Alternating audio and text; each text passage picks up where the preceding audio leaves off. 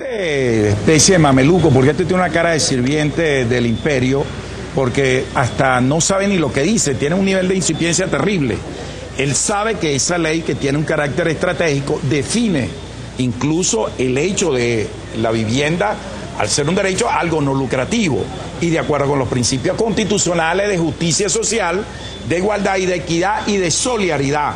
Entonces, estos señores parece Claro, ellos, de alguna manera, ellos no votaron tampoco por esa constitución, porque la constitución de ellos es entregarle el país al imperio, es decir, a través de lo que es la política neoliberal.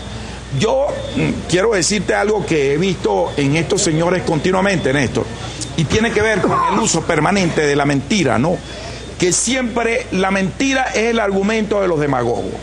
Ellos siempre están buscando cualquier cosa que inventar porque la única defensa que ellos tienen es que ellos creen una sociedad de libre competencia y mercado.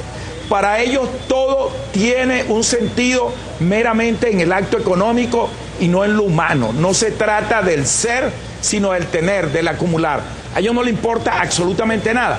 Por eso es que hay dos posturas que están totalmente enfrentadas. Es decir, por más que nosotros intentemos conciliar a quienes vienen haciendo uso de manera especulativa a través incluso de lo que es abuso de posición de dominio, que tienen controlado mediante la administradora varios apartamentos y que se ponen de acuerdo para imponer precios predatorios, que eso es lo que hacen ellos en términos de economía, bueno, estos señores nosotros no podemos contar con ellos para nada. Es decir, como tú a un señor cuyo interés único es el del dinero, tú lo vas a convencer cuando está el derecho de la gente. Yo creo que eso hay que seguir señalando. Ellos están allí para defender los intereses económicos de la oligarquía que lo financió.